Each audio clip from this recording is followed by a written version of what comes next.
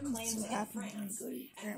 you longer, but in 1475, an invading army was bribed to go home. What is the Hundred Years' War? That is correct.